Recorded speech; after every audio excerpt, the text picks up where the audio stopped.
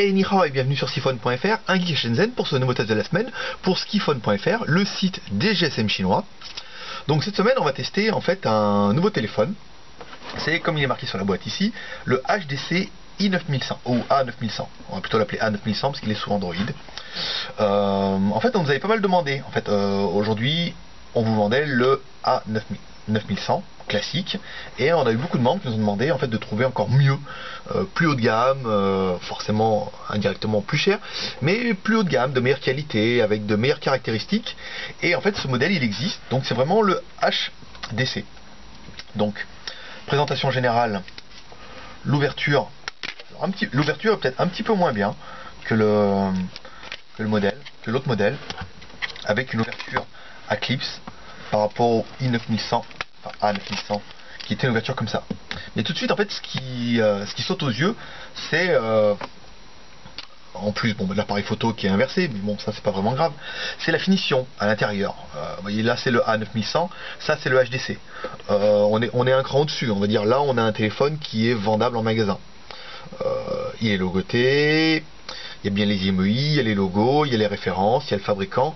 Voilà. Donc là, A9100, on a, on a bien un, appareil qui est quand même assez, euh, qui est quand même assez quali, et ça, euh, ça va être un des premiers points importants.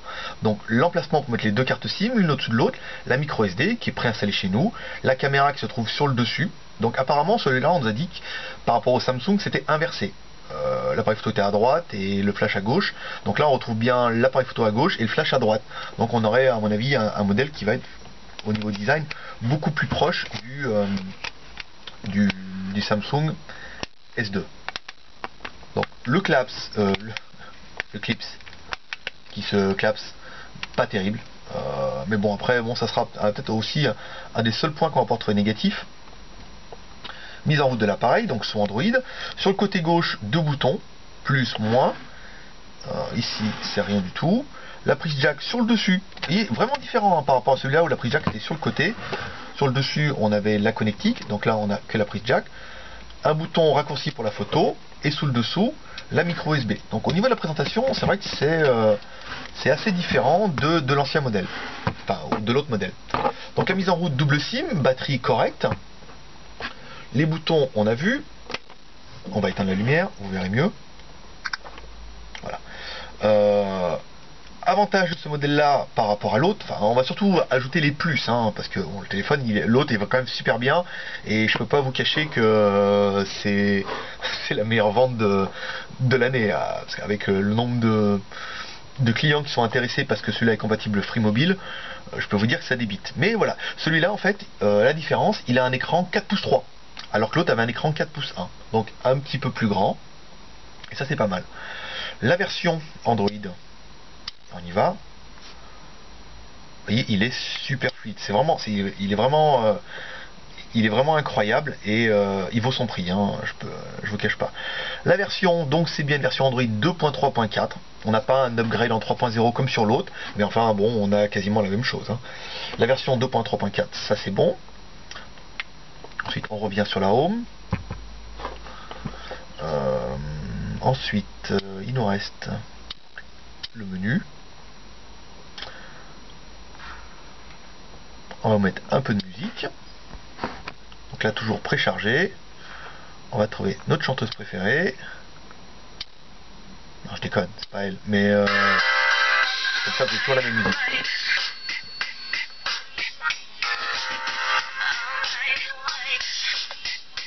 Donc c'est bon, ça fonctionne. Ensuite, pour lire les vidéos, toujours pareil. On va, on cherche l'explorateur euh, gestionnaire de fichiers. Donc là, il s'appelle gestionnaire de fichiers. C'est un peu mieux. Bluetooth, euh, DCM, ça doit être ma carte mémoire, média, musique. Donc là, il retrouve bien le fichier, mes vidéos, plage de glace.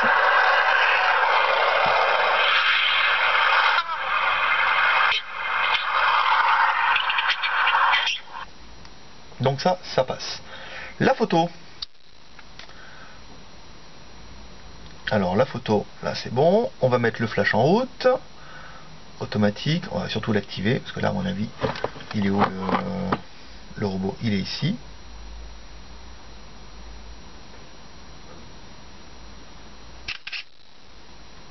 Donc appareil photo avec autofocus.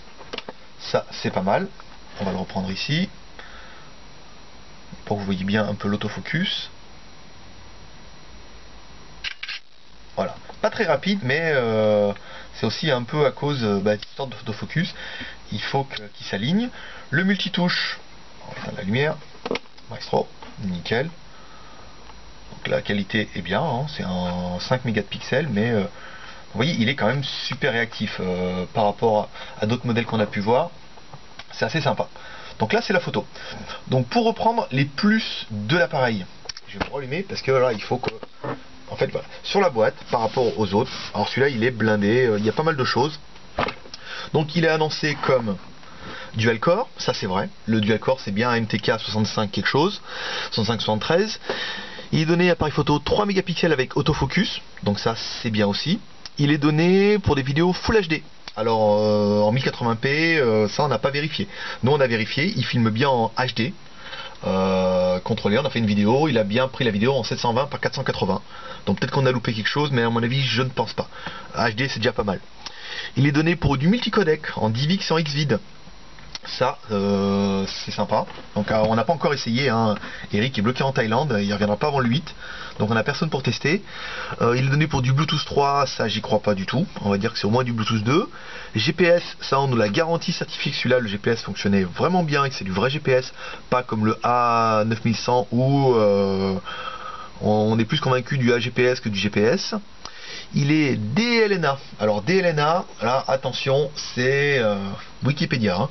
c'est de l'interopérabilité entre euh, plusieurs marques pour la lecture, les machins, un truc comme ça. Bon, pas non plus. Euh, et la batterie, 1450 mAh, là on est bien. Voilà. Donc pour reprendre un peu cet appareil, pour nous, les plus de celui-là, bah, l'écran 4 pouces 3, il est, est magnifique. Là, il y a le film protecteur dessus, donc c'est vrai que c'est un peu mat. Mais euh, une fois que vous avez enlevé le film protecteur, vraiment, on a vraiment un appareil qui, est grand. Et là, on se rapproche vraiment d'un Galaxy S2, il n'y a pas de problème. Android 2.3.4 avec le Market. Donc là, vous allez retrouver tout ce qu'il vous faut. Bien, ça assure une compatibilité qui, vous voyez, il est quand même super fluide. Hein. Ça c'est vraiment bien. Euh, ça, Android 2.3.4, ça c'est bon. Le Wi-Fi, le GPS, GPS là vraiment ce coup-là certifié par le fabricant, vu le prix. Le processeur MTK 6573, donc là en fait le processeur va vous garantir, comme sur les autres modèles en fait, qu'il est compatible 3G pour nous sur Free et Orange. On n'a pas encore eu de membre qui a essayé avec SFR et, et Bouygues, mais bon, peut-être ça va venir en regardant les vidéos. La hum, caméra, 5 mégapixels, euh, avec flash, pour moi personnellement ça suffit. Il y en a qui vont vous dire que c'est pas assez parce qu'ils préféreront 8. Bon, bah après, ça c'est vraiment façon de voir. La prise de vidéo en HD en 720 par 480, euh, ça je veux dire, euh, bon sur un téléphone chinois c'est quand même, même si ça sert pas à bien grand chose de filmer en Full HD parce que les vidéos sont quand même super lourdes, euh, filmer en HD, bon bah ça assure une qualité minimum qui est quand même assez intéressante. L'appareil photo avec l'autofocus, ça on en a parlé. le DLNA, je sais pas. Là, pour moi, c'est un sticker, ça, hein, ça veut tout et rien dire. Mais bon, peut-être qu'il y en a qui vont trouver, qui vont trouver un intérêt apparemment de la lecture en codec avec le DivX et le XVID. Ça, il faudra essayer. Euh, à mon avis, c'est pas c'est pas nécessaire. On, verra, on fera des tutos, mais après, vous pouvez, il y a, pas mal de, players euh, Android que vous pouvez télécharger qui lisent très bien les, les DivX et les XVID sans avoir besoin de formater, d'en rencoder et de faire des choses particulières. Donc après, ça, on verra, on vous fera des tutos.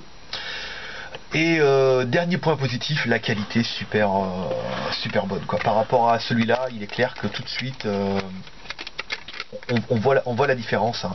Là on se rapproche vraiment pas en termes de prix, mais en termes de qualité, on se rapproche vraiment de la qualité qu'on peut voir quand on ouvre des HTC ou des Samsung où il y a une bonne prise en main, il est bien fini, il est assez, il est plus lourd, mais bon, vraiment ça apporte quelque chose. Hein.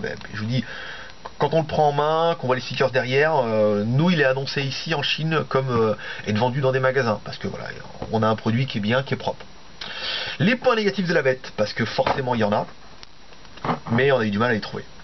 Euh, point négatif, le cache, qui se clipse, déclipse, mais comment dire, on le met dans les négatifs pour en mettre un peu. Personnellement, j'ai un Galaxy Nexus, le dernier là, le cache il est aussi pourrave quoi. Et voire pire, plus pourrave parce qu'il est moins, il est moins bon plastique et pourtant c'est du Samsung et ça coûte une blinde. Et c'est vraiment pas terrible. Un truc à clip aurait été peut-être plus intéressant. Mais Samsung fait comme ça aussi, donc il n'y a pas de raison. point négatif, on pourrait dire qu'Android n'est qu'en 2.3.4 bof. Hein. c'est juste pour dire de, trouver des choses à redire. Et le. Qu'est-ce que l'on pourrait dire? Le. Qu'est-ce qui me restait d'autre? euh, Bah c'est tout. Après, euh, le prix peut-être. Bon, en dessous des 200 euros, ça fait un téléphone qui est, euh, qui est un peu plus cher que l'autre, mais qui les vaut vraiment par son prix. Voilà, après, euh, dernier point négatif, bah, il ressemble un petit peu trop au Samsung. Mais bon, là, on, est vraiment proche, proche, je pense, au niveau du design. Il faudra en avoir en main et euh, je pense que quand les clients les achèteront, peut-être qu'ils nous feront des photos pour comparer un peu les téléphones. Mais on est quand même assez, assez proche. On aurait peut-être aimé un, modèle plus original, mais je pense qu'il aurait peut-être aussi moins plu. Donc voilà, voilà ce petit test du HDC. Euh, vraiment très très très bon appareil. pour moi, le meilleur si vous êtes prêt à y mettre 200 euros. Si vous n'êtes pas prêt, vous voulez y mettre que 150 euros, forcément ça sera le A9100, ça sera celui-là. Mais euh, si vous avez un peu plus de budget, euh, le HDC vraiment, euh, il est plutôt pas mal. Et puis après, on espère que la communauté réagira sur siphon.fr, le blog sur ce test vidéo. Et puis si vous avez des questions, des commentaires, des remarques, bah, n'hésitez pas à aller sur siphon.fr, le blog, pour mettre des commentaires bah, sur ce test. Et puis, euh, si vous voulez le téléphone, sur notre boutique skiphone.fr. Et vraiment de belles choses s'annoncent. Et quand Eric revient, sa mission numéro 1, ça sera d'aller nous trouver des accessoires pour celui-là, celui-là, les autres, parce que euh, nous, on est en manque de temps. Mais euh, ça, va, ça va arriver, je pense, mi-février. Vous allez avoir plein, plein, plein de choses. Et on a encore deux téléphones qui sont arrivés hier en Chine et qu'on va vous tester, je pense, euh, ce week-end ou début de semaine prochaine et qui seront dans la boutique, qui seront certainement dans la boutique avant qu'on fasse les tests. Parce qu'on les met et après on réalise les tests. On vous a promis qu'en fait tous les téléphones qui seront dans la boutique seront testés. On fera certainement de même pour les accessoires. Et je pense que c'est pour ça que vous êtes de plus en plus nombreux à écouter mes bêtises en vidéo et à venir sur le blog et dans la boutique. Voilà. À bientôt sur siphon.fr, un geek à Shenzhen, et rendez-vous dans la boutique skiphone.fr, la boutique des GSM chinois. À bientôt.